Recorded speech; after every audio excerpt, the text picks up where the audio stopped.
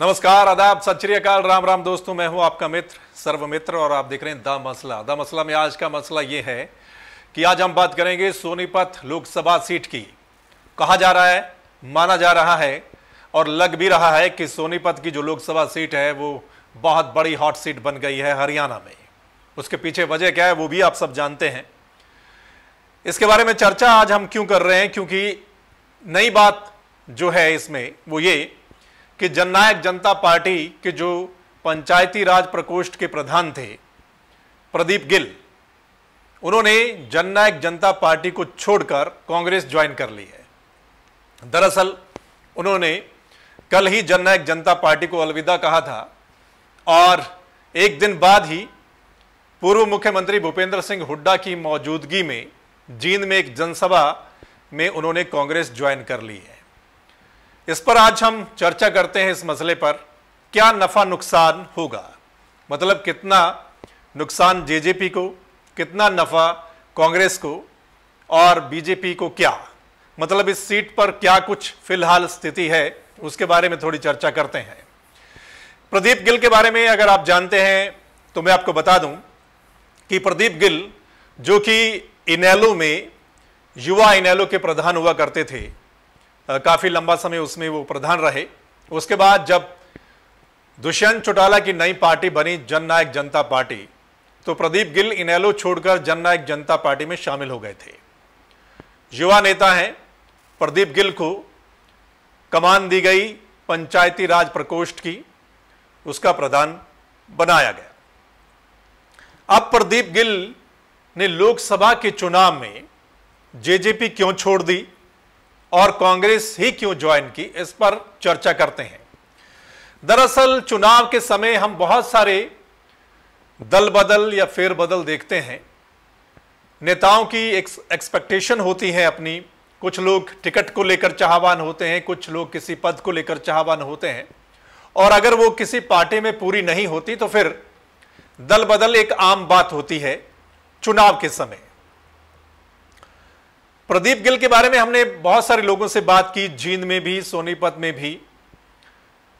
प्रदीप गिल के बारे में यह कहा जा रहा है कि प्रदीप गिल दरअसल सोनीपत लोकसभा से टिकट के चाहवान थे। वो चुनाव लड़ना चाहते थे। इससे पहले कहीं ना कहीं कुछ लोग ये भी बता रहे हैं कि जींद के उपचुनाव में भी कहीं ना कहीं उनकी इच्छा थी कि वो चुनाव लड़ना चाहते थे। अब टिकट क्यों नहीं मिला? जींद के उपचुनाव में भी दिग्विजय सिंह चौटाला उतर गए। वो पार्टी में दूसरे नंबर के नेता हैं दिग्विजय सिंह चौटाला। तो उनको टिकट नहीं मिला। अब सोनीपत लोकसभा सीट पर भी दिग्विजय सिंह चौटाला को उतार दिया गया। तो उनको टिकट नहीं मिला। दरअसल सोनीपत लोकसभा सीट पर कई लोग चाहवान थे और पैनल में जननायक जनता पार्टी के पैनल में कई सारे लोगों के नाम भी थे। लास्ट स्टेज पर जब भूपेंद्र सिंह हुड्डा का ऐलान कांग्रेस की ओर से किया गया तो उसके तुरंत बाद दिग्विजय सिंह चौटाला का ऐलान भी अगले दिन ही कर दिया गया। अब पैनल में कई लोग थे। पैनल में केसी बांगड़ थे, पदम दैया थे, गीता फोगाट थी और प्रदीप गिल थे। ये चार बड़े जो नाम है, वो थे जननायक जनता पार्टी के पैनल में। और वो देख रहे थे कि कौन उम्मीदवार आता है कांग्रेस की ओर से और उसके बाद फिर फैसला लिया जाएगा। हुड्डा के आने के बाद जननायक जनता पार्टी ने दिग्विजय सिंह चौटाला को मैदान में उतार दिया। अब क्या हुआ कि प्रदीप गिल ने पार्टी छोड़ी और साथ में यह कहा, जो वजह बताई प्रदीप गिल ने। प्रदीप गिल ने वजह बताई कि पार्टी में अब जो फैसले लिए जा रहे हैं, वो मतलब भावनाओं में बहकर फैसले लिए जा रहे हैं। प्रदीप गिल कहीं ना कहीं ये आरोप लगाते हैं कि पार्टी भटक गई है। प्रदीप गिल कहते हैं कि रड़क निकालने के लिए अब उम्मीदवार उतारे जा रहे हैं। प्रदीप गिल ने कहा कि जींद के उपचुनाव में भी ये कहा गया कि रणदीप सिंह सुरजेवाला की रड़क निकालने के लिए दिग्विजय सिंह चौटाला को मैदान में उतारा गया है। और अब कहा जा रहा है कि भूपेंद्र सिंह हुड्डा की रड़क निकालने के लिए दिग्विजय सिंह चौटाला को लोकसभा का चुनाव लड़वाया जा रहा है। यह प्रदीप गिल का कहना है। अच्छा प्रदीप गिल कांग्रेस में शामिल हो गए, भूपेंद्र सिंह हुड्डा की मौजूदगी में और जब शामिल हुए तब भी हमने सुना, वो कह रहे थे कि हम तो युवा हैं, पागल थे, जुनूनी थे, आँख बंद करके लगे हुए थे। होश नहीं था हमें। और जब कांग्रेस में शामिल हुए तो वो हुड्डा की तारीफ़ कर रहे हैं। कांग्रेस पार्टी की तारीफ़ कर रहे हैं। दीपेंद्र हुड्डा की तारीफ़ कर रहे हैं। अब हम यही चर्चा करते हैं कि कितना नफा नुकसान। दरअसल हमने बात की कि प्रदीप गिल काफ़ी समय युवा के प्रधान रहे हैं। काफ़ी युवा उनके टच में हैं। और जब हमने स्थानीय स्तर पर बात की तो कुछ लोग कह रहे हैं कि नहीं, ज़्यादा उनके पास वोट बैंक नहीं है। मतलब काफ़ी लोग पार्टी के माध्यम से ही उनके साथ जुड़े हुए थे। चाहे नेलो की बात करें और चाहे जननायक जनता पार्टी की। कुछ लोग कहते हैं कि हाँ काफ़ी युवा उनके टच में है। उनकी अपनी एक टीम है वहाँ पर जींद में। वो जींद के आसपास के रहने वाले हैं। तो उनकी एक टीम है। और उन्होंने कांग्रेस में शामिल होते समय कहा कि मैं जींद से हम, जुलाना से, सफीदों से हुडा साहब को काफ़ी मतों से जिताकर भेजेंगे, ऐसा वो बोल रहे हैं। मतलब इस इलाके में शायद उनकी कोई टीम है। अगर टीम है तो फिर इसमें नुकसान जेजेपी को हो सकता है और उसका फ़ायदा कांग्रेस को मिल सकता है इस चुनाव में। दरअसल हॉट सीट है और हॉट सीट में अगर किसी को कुछ फ़ायदा मिलता है तो वो अपने साथ मिलाने की कोशिश करता है।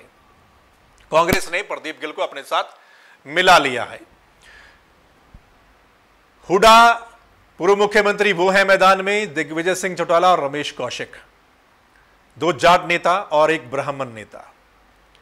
रमेश कौशिक जो बीजेपी के हैं, वो जहाँ भी जा रहे हैं, दरअसल उनका विरोध बहुत हो रहा है।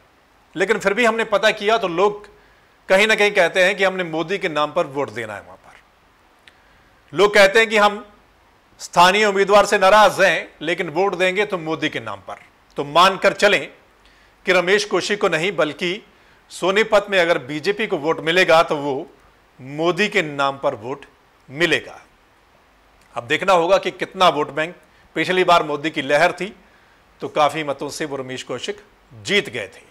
अब देखना है क्या होता है। सामने भूपेंद्र सिंह हुड्डा भी हैं, जिनको बड़ा जाट नेता कहा जाता है, और हम देख रहे थे विजुअल्स कि जब वो नामांकन करने आए वहाँ पर सोनीपत में, काफ़ी भीड़ भी हमने वहाँ पर देखी है। दूसरी तरफ़ दिग्विजय सिंह चौटाला हैं। यूथ काफ़ी उनके साथ है और जननायक जनता पार्टी के पीछे काफ़ी यूथ नज़र आता है। देखना होगा कितना यूथ अब दिग्विजय सिंह चौटाला के पास है। दरअसल जेजेपी को लगता है जो परफॉर्मेंस उनकी जींद उपचुनाव में रही मतलब काफ़ी वोट ले गए, हालाँकि हार गए थे, दूसरे नंबर पर रहे थे, कि शायद वैसी परफॉर्मेंस सोनीपत के चुनाव में भी मिलेगी। बहुत बड़ा रिस्क जननायक जनता पार्टी ने लिया है और कई बार हमारे मन में यह ख्याल आता है कि दिग्विजय सिंह चौटाला को क्यों उतारा गया? जब पहला चुनाव वो हार गए, अब दूसरा बड़ा चुनाव में उनको उतारा गया है, और अगर इसमें भी वो हार जाते हैं तो एक बड़ा झटका दिग्विजय सिंह चौटाला खुद के लिए भी होगा और पार्टी के लिए भी होगा। लेकिन रिस्क लिया है। दरअसल राजनीति में यह माना जाता है कि आप जितने बड़े नेता के सामने चुनाव लड़ेंगे, और अगर आप जीत जाते हैं तो आपका कद बड़ा हो जाता है। आप बड़े नेता बन जाते हैं। दरअसल नरवाना से रणदीप सिंह सुरजेवाला ने ओम प्रकाश चौटाला को हराया था। तो रणदीप सुरजेवाला भी एकदम बड़े नेता बन गए थे। वहीं रोहतक में भूपेंद्र सिंह हुड्डा ने चौधरी देवीलाल को हराया था।